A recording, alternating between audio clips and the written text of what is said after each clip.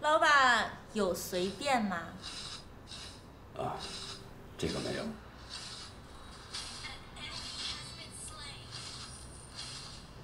嗯，吃点什么呢？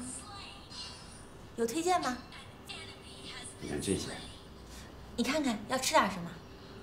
随便，你定。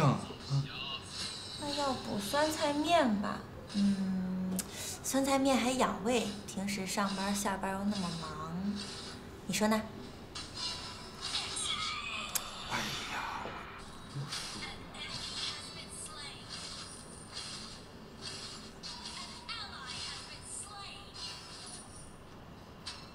老板，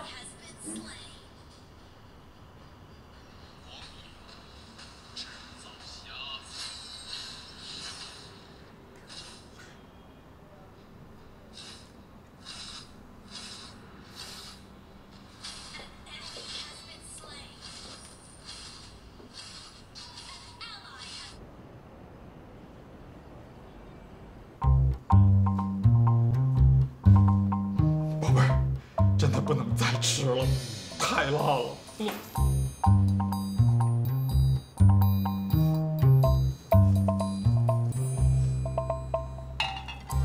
太辣了，那要不要打两局游戏缓缓？嗯，不用了，不用了。知道错了吗？嗯以后还打不打游戏了？嗯嗯嗯嗯，你说，你知道你一个程序员每天上班又加班的，要对着电脑多久吗？差不多十个小时吧。那你还玩游戏？下班了也不知道让眼睛好好休息休息。以后我再也不打了啊，再也不打了。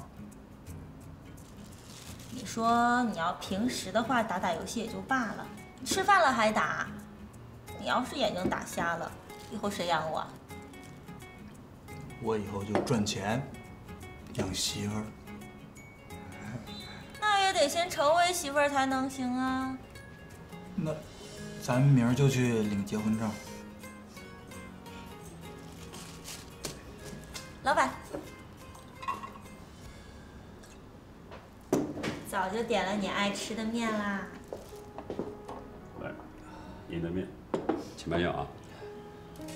哎，老板，谢谢。水没了，帮我加点水，谢谢啊。看你以后还敢不敢跟我打游戏，不理我。嗯嗯。你知道爱情是什么吗？爱情就是住着小房子，有点小银子，嗯，生个胖小子，挎个菜篮子，哎，呃逛着小巷子。再洗着菜盘子。我不想洗盘子，洗多少盘都洗。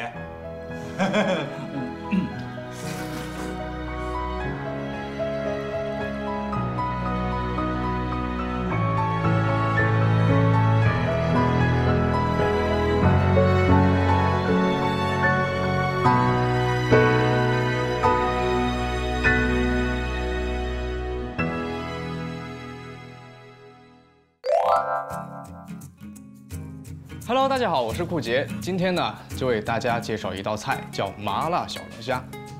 小龙虾呢，是大家既熟悉又热爱的一道小吃。